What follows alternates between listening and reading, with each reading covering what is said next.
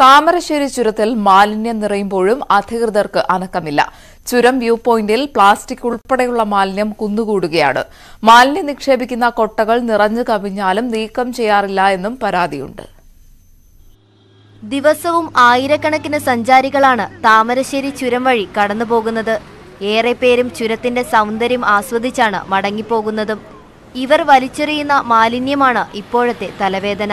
ചുരം വ്യൂ പോയിന്റിൽ ഉൾപ്പെടെ പ്ലാസ്റ്റിക് മാലിന്യം കുന്നുകൂടുകയാണ്.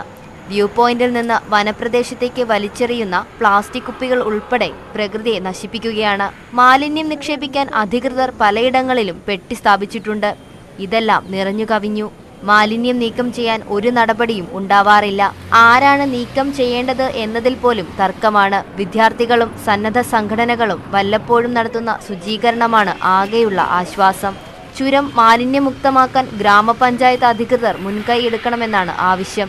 അത് ചുരത്തിന്റെ താഴ്വാരത്തുള്ള നൂറുകണക്കായ കുടുംബങ്ങളുടെ കുടിവെള്ളം ഉൾപ്പെടെ സുരക്ഷിതമാക്കുകയും ചെയ്യും.